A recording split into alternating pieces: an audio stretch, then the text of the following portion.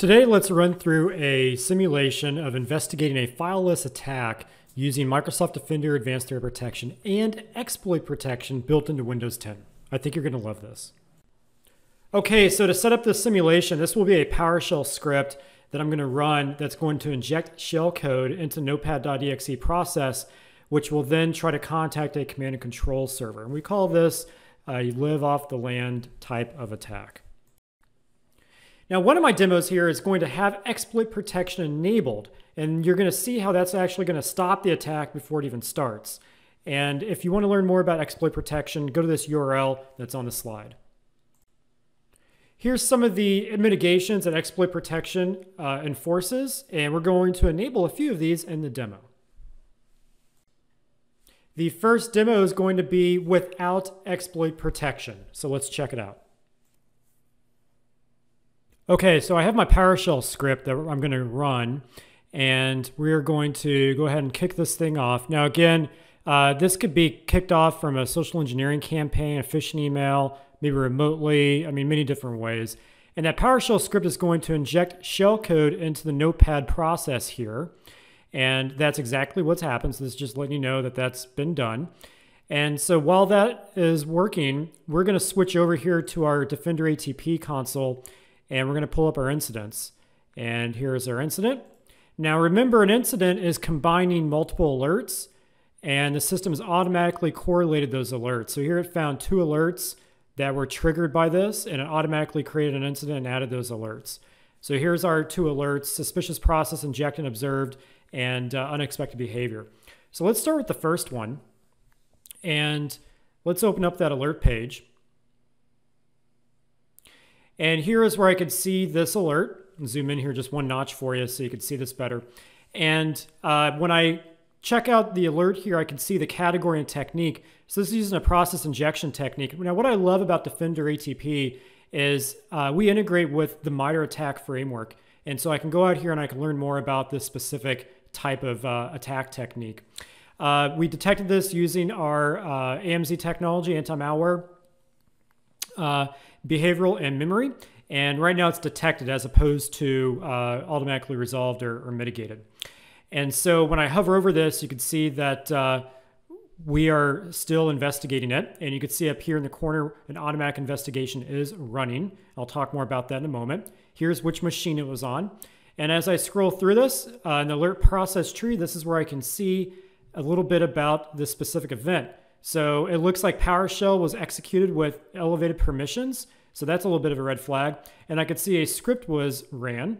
And when I click on that script, it will show me exactly what that script is. And uh, that's pretty interesting. And I, from there, I can download the script. I can even copy it out and go take a closer look at. Now, again, AMSI stands for Anti-Malware Scan Interface, and it's a uh, it's a capability Microsoft has you can actually build into your products. And so some of these things like PowerShell actually have that built in. Now, when I go back to our incident and we look at one of these other alerts, like this unexpected behavior observed by a process, this is interesting because remember I told you this is going to try to connect to a command and control server, a C2 server? Well, check it out. This is what we're doing. So now the technique is a little different. It's masqueraded in process hollowing. And um, when I scroll through this, here I can see what's happening. And I can see that uh, we're trying to call an IP address and connect with it. And this could be my command and control server. Now, this is all simulation, so of course it's coming from Microsoft or it's trying to go to Microsoft, but this could be your C2 server. So then from there you can go in the firewall and uh, you know disable connections to that IP address, so on and so forth. All right, so now let's go back to our incident and let's check out the progress of the investigation. So it looks like the investigation is still running. And if we open up the investigation page, from here, I can see what the investigation is doing. So if I click on log, uh, this is currently checking different components on the machine. And uh, where we're at right now is we're looking at the, a list of running processes. And uh, again, I can click on the little bubble next to these and I can see details of what that looks like. So here uh, we've gotten a list of all active connections that we've queried that machine for. So here's all of the active connections on that machine. So you get the idea. It's pretty interesting. I can see everything that's happening. Uh, so we'll let that cook for a few moments. Let me show you one that's already ran and automatically got mitigated. So here's an incident I've already resolved. So let's go ahead and pull that guy up. And uh, this is one that's already been mitigated automatically. So same alerts that we saw before, but if I go to investigation, here we can see status is remediated. And when we dig into that investigation, you will notice that the log has 55 entries. So eventually the other one will show 55 when it gets done processing. This took 11 minutes to process and it's going through and it's doing its homework. It's asking itself questions and it's gathering all sorts of data. So for example, here I looked at all the processes that are running on that machine uh, and here is the query and the results of that. And I can view the, the full thing if I need to. Um, you get the idea. Now, if I go to evidence, here I can see that the threat was remediated, so the process was terminated. And when I click on this, I can view a little bit more information about that. So that is the demo of a fileless attack and investigating and remediating it. Now let's take a look at what this same type of attack would look like, but with exploit protection enabled.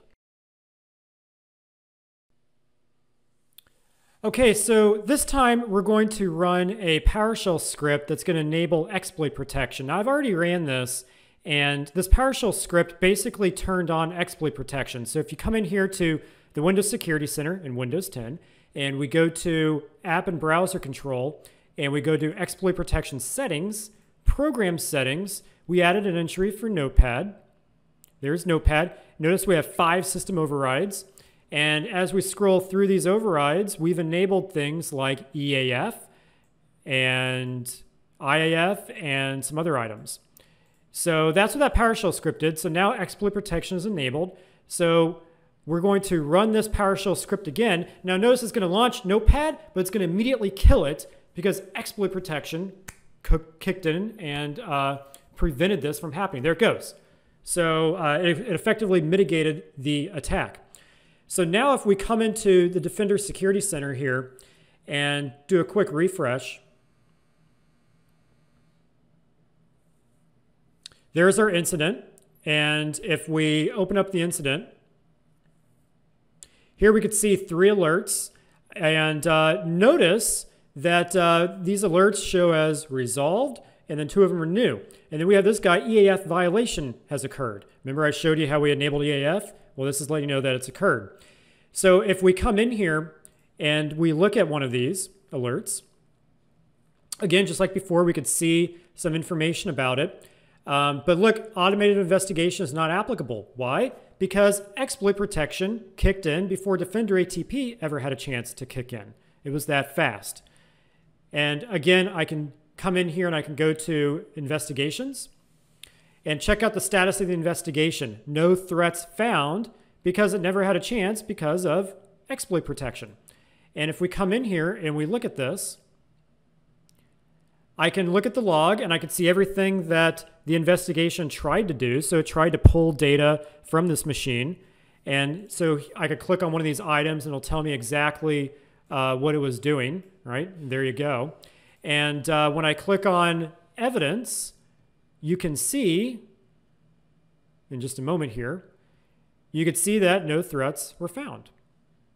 And uh, that's the ultimate status. And so at this point, uh, this incident will automatically be resolved. Now, for me, I'm going to go ahead and click on Manage Incident, and we're just going to go ahead and resolve this just to speed things along here.